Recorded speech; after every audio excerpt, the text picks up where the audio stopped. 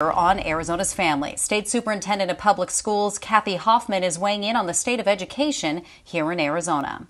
Today, Nicole, she got an up close look at how a YMCA is offering help to children doing online schooling. Now, this Y partnered with the State Department of Education to help provide some oversight for those online learners whose parents can't help them with their schoolwork throughout the day. Hoffman talked about how places like this are helping students who just simply aren't in the classroom. We did see it as a way to reduce the pressure on the schools.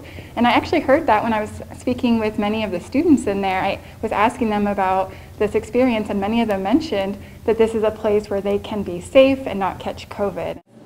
Now, we asked her if there was a light at the end of the tunnel in terms of the pandemic's impact on state schooling. In terms of the future of this, I think there are still some um, short term challenges, long term challenges. But then I do want to make sure we're keeping our eyes open to opportunities. What have we learned? What does this mean for hybrid learning, for online learning? So what worries her? Well, Hoffman expressed concerns to us about thousands of students falling behind due to lack of internet service at home as well as other resources. Of course, we know the school year is still very stressful and it's hard to keep up with all the changes.